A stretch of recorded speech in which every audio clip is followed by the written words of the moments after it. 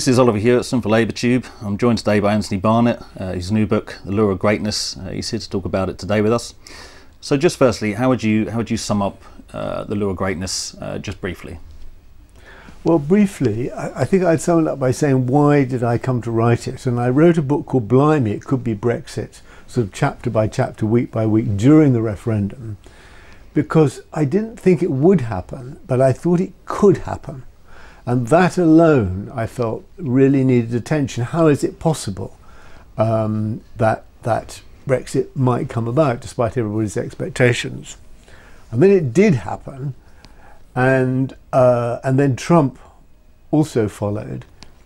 And so I, I set about trying to drill down a bit deeper. So it seems to me that, that, and it's becoming clearer now that this is the case, that Brexit is quite a profound breakdown of traditional British government, just as Trump is a breakdown in the way America has governed itself and seen itself.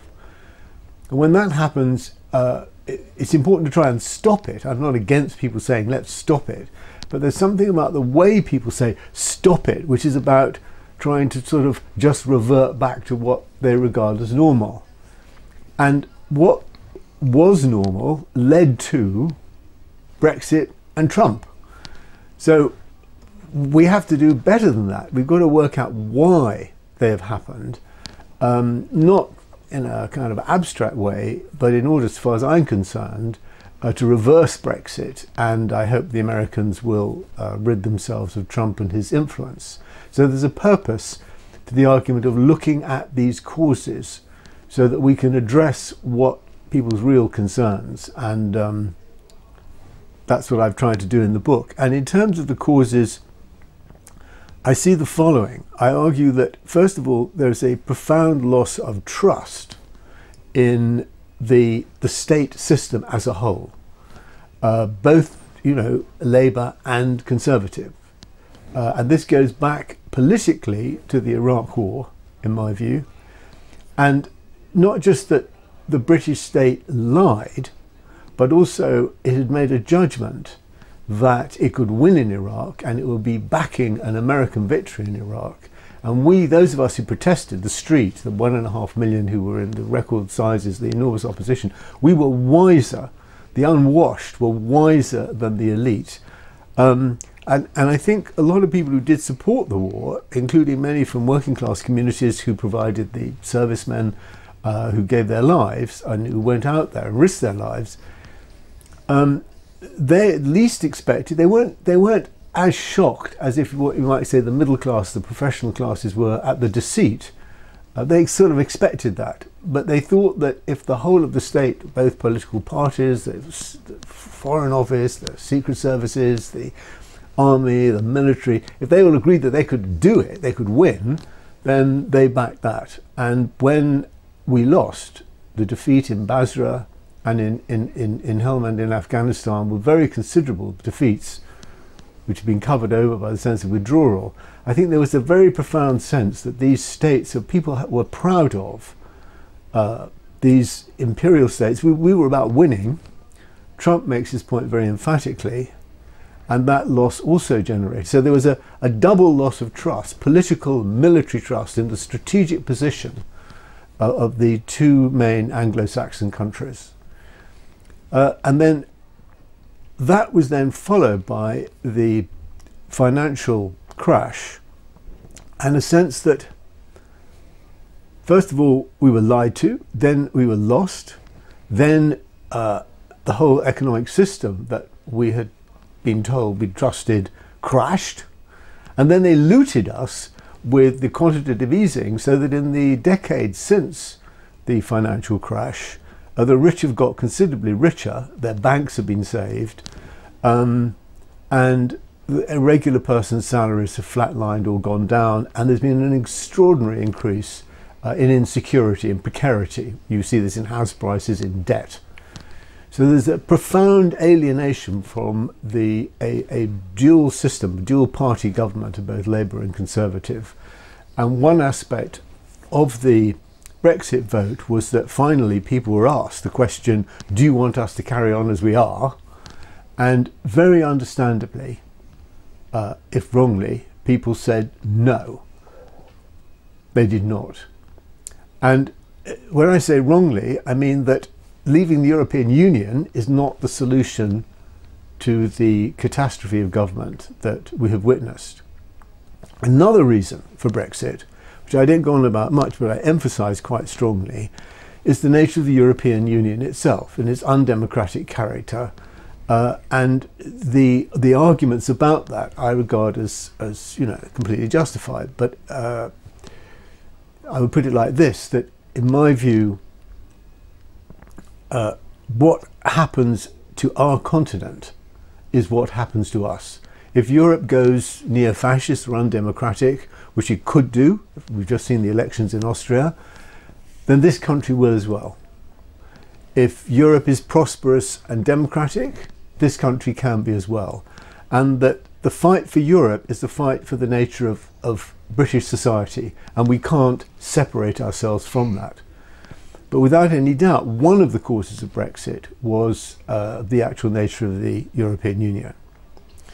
And another reason for Brexit that I argue about is that the, um, the left not just the Labour Party, but the left as a whole, had no real convincing vision of what a democratic Europe should look like. There was no positive message about what an alternative Europe could really be, certainly not one that got communicated to the public.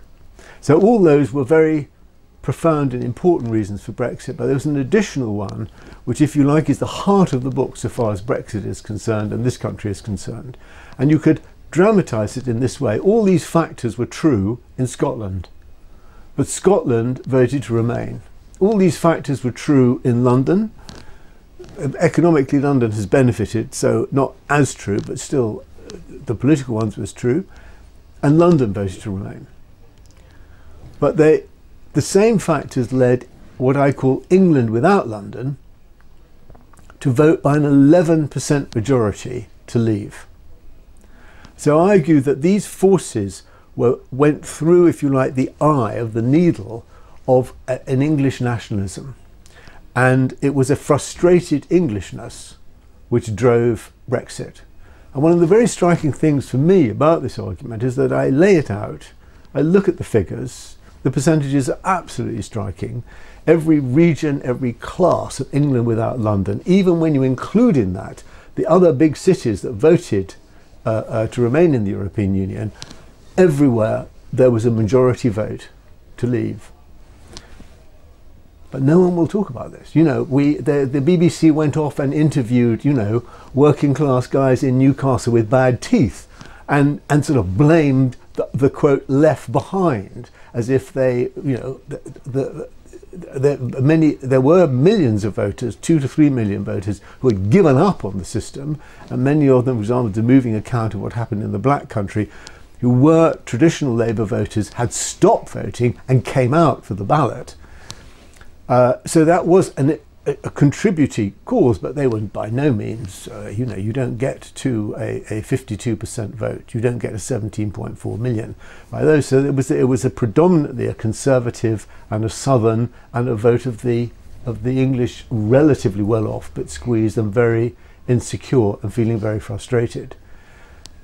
So what are the causes of this English dissatisfaction? Why did England blame Europe for uh, uh, its frustrations? And that question is one that I ask very emphatically. And it's striking to me, if I can say this, that in Ireland or in, uh, in France uh, or now in New York, people are very interested in these answers.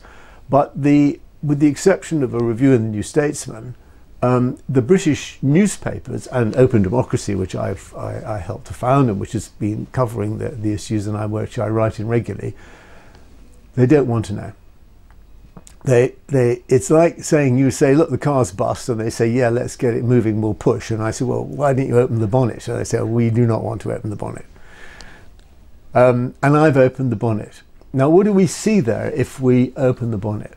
Well, now it is odd to say that this is an English vote because, you know, the English want Britain. They want this to be Great Britain. They want global Britain. They, they're not asking for an English Parliament, another layer of government.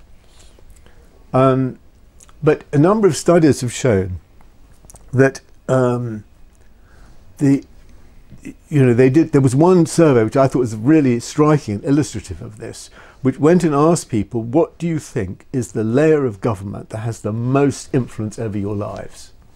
And remote areas of Europe like Galicia would say 9% might say the European Union.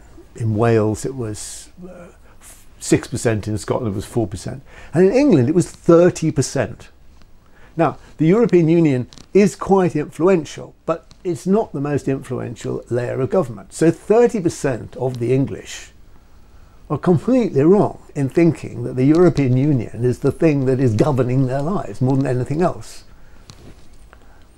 And the people that did the survey thought perfectly reasonably, it seems to me, that the reason why the English thought that, obviously in a rather hostile way, is that they have no government of their own that speaks for England. And it's very striking this. The uh, England is a historic country, a proud country, one with a lot of self-consciousness. A majority of the people that live in England, when asked now, describe themselves as English rather than British. Yet not only is there not a single institution that represents them, that says we are, you know, there's an English health service, there's English heritage, there's enormous sums of money, there's an, a lot of cultural capital, if you want to call it that, at stake. There's not a single institution of a representative kind whose role is to represent the interests of England. Nor is there a single think tank whose aim is to look at English interests. Uh, and when you say, well, look, you know, there's there's a Scottish TUC and then there is a British TUC. There is a there's a Church of Scotland and there's the Church of England, but the Church of England, you know, is a world church. It's looking after Anglicanism around the world. So that there is a British broadcasting company and there is a Scottish broadcast BBC and there's a Welsh BBC and there's a Northern Irish BBC, but there's not an English BBC. So England is is has uh, no way of expressing itself and one of the reasons why for this, I argue, is that England expresses itself in what I call Anglo-Britishness. It, it assumes the right to rule Scotland and Wales, and it and that uh, uh, that Britishness is constitutionally incompatible with membership of the European Union, and this allowed the English to blame Europe for their ills when their ills are really centred, the source of their ills is centred on Westminster.